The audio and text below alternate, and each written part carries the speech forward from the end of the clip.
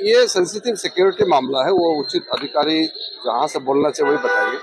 मैं इसमें बोलना नहीं चाहता। तो बोल रही है बीजेपी हार करके लाया था अभिषेक को मारने के लिए। भी तो टीएमसी के बात का विश्वास मत कीजिए।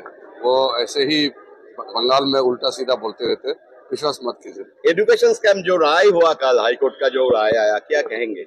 हाईकोर्ट ने जो बड़ा निर्णय दिया है उससे पहले लोगों को पता ही था कि पश्चिम बंगाल में कितना बड़ा स्कैम चल रहा था।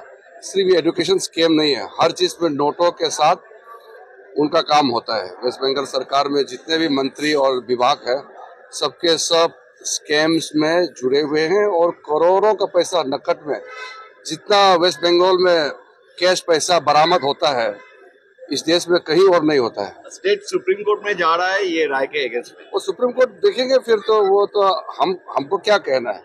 चोरी किया गलती किया या जो भी धांधली किया पश्चिम बंगाल के सरकार में जो लोग वो लोग किया?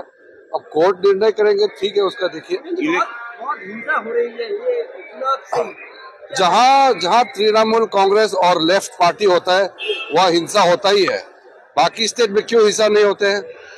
सिक्किम में भी चुनाव हो रहा है यूपी में भी हो रहा है हरियाणा में राजस्थान में हर जगह चुनाव हो रहे हैं असम में शांतिपूर्वक है।